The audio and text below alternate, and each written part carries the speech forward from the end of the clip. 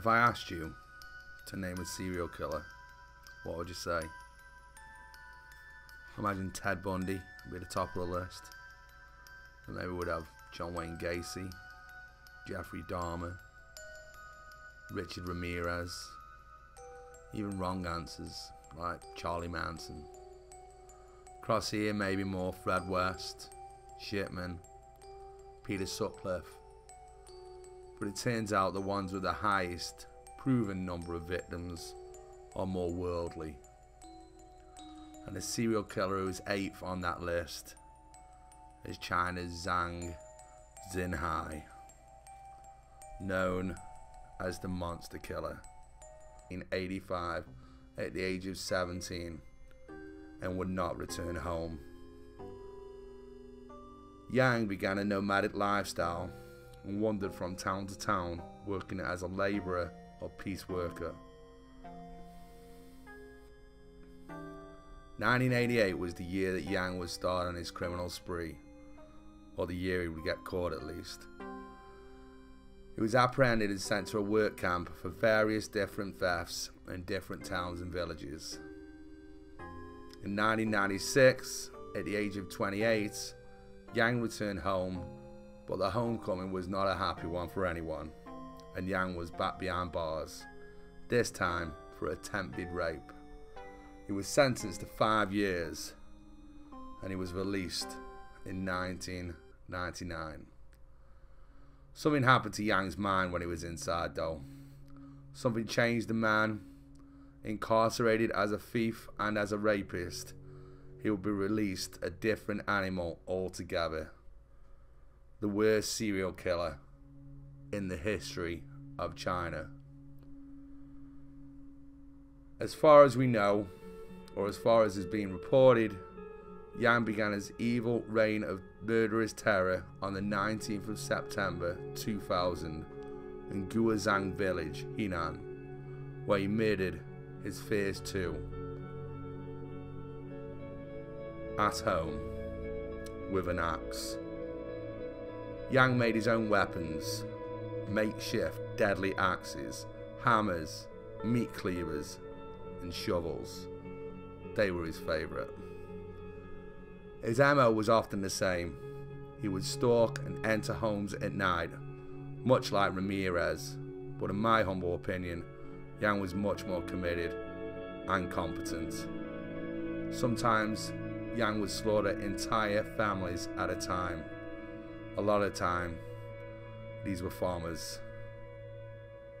On the 22nd of October 2002, Yang entered the Zhang family residence he systematically killed first the father, then his six year old daughter, both with a rusty shovel. He then proceeded to rape the wife, who was also pregnant. Another sick similarity to the American Night Stalker. He would sometimes let the women he raped occasionally live. This time the wife survived, but had serious head injuries. Yang's worst night, though, was still yet to come. On the night of 6th December 2002, Yang entered in to the residence of Liu Zhangwang, where he would kill an entire family of five. A grandmother, a mother, dad, and two children with a hammer. The gruesome crime was discovered by the grandfather Liu, and he entered the family home to find his wife, children, grandchildren dead in a bloody mess. His wife hung on, but eventually succumbed to her hammer injuries 10 days later. He found his granddaughter lying on the floor with a hole in her head. Yang would later confess to using the hammer in this case and then burying the hammer in a grave. He would then throw his blood soaked clothes into a nearby river and went on his way. This would be just one of many in his reign of murder. His reign of murder was epic. and China increasingly feared this would never stop. Yang slaughtered entire households on several occasions. In Anhui, on October 1st, 2000, three victims and one rape. On August 15, 2001, three victims, one rape. On January 6, 2002, five murder victims, one rape. June 30th, 2002, four murder victims, one rape. July the 28th, 2002, four murder victims, two rapes. November 8th, 2002, in his home village, four victims, two rapes, one injured. December the 15th, 2002, in Hanoi, three victims, one injured. On February the 5th, 2003, three victims, one injured, one rape.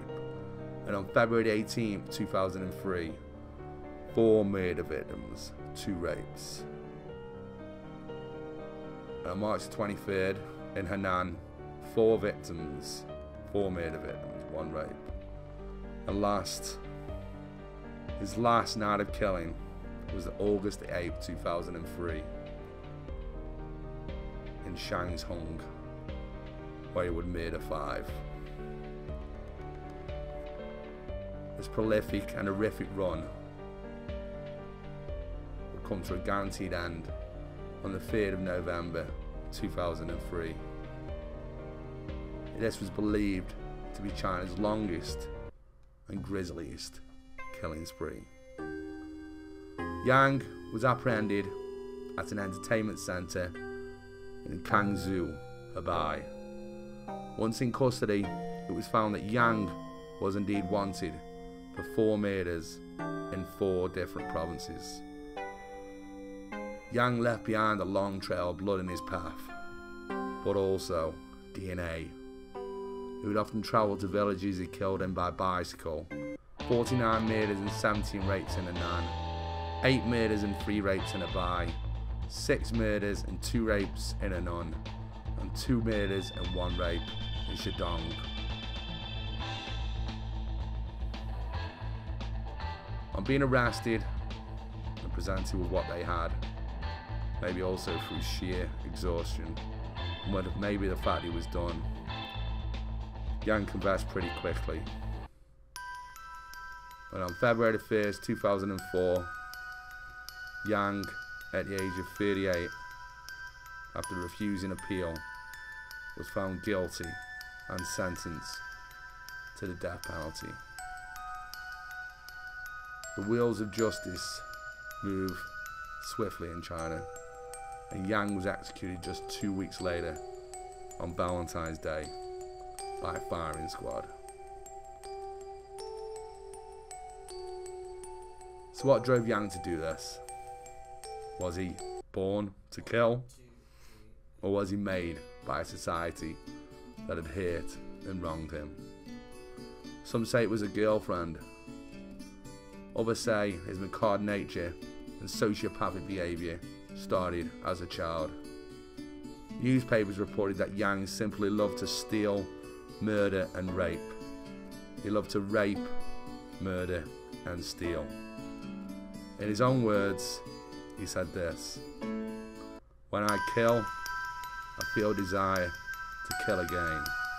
That drives me to kill. I don't care if my victims deserve to die or not. I don't give a damn. I have no desire to be part of society. Society is not my problem.